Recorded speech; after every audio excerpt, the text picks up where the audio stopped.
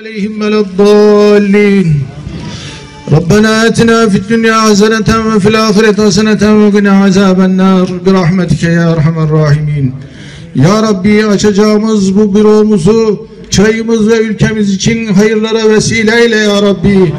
Çayımıza, ülkemize, milletimize, memleketimize birlik, beraberlik, kardeşlik ihsan eyle ya Rabbi.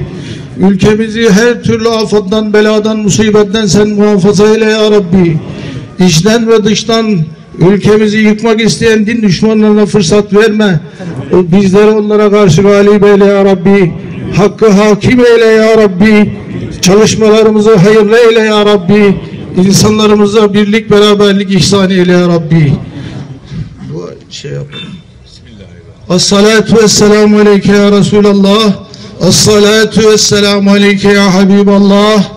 Esselatu vesselamu aleyke ya Seyyidina Seyyidina evveline vel ahirin. Velhamdülillahi Rabbil alemin. Allahu Ekber, Allahu Ekber. Sayın Bakanımızın destekleriyle yüzde on sulama birliği yüzde doksan devlet olarak bizler yapalım. Yalnız bunun yüzde birini sulama birliği peşin versin denilmişti. Bunun için çok gayret gösterdik. Arkadaşlar da iyi niyetli çok bu konuda kafa yordular ama maalesef çiftçimizin durumu belli. En son Sayın Bakanımız buraya geldiğinde geçen hafta herhalde bugündü, çarşamba günü kendisini eee, o temel atma programından sonra il teşkilatımızda bir toplantı yaptık. Ya bizzat kendim anlattım. Dedim ki efendim nereye gitsek bu konu karşımıza geliyor. Bu yüzde bir bizim bir çözmemiz lazım. Birlikte bir çözüm ürettik.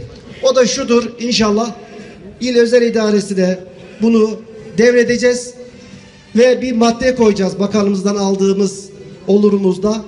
Bu yüzde birlik peşinat il özel idareler tarafından yapılacak rehabilitasyonlarda yüzde bir peşinat alınmayacaktır. Böylece yüzde bir peşinatı kaldırdık.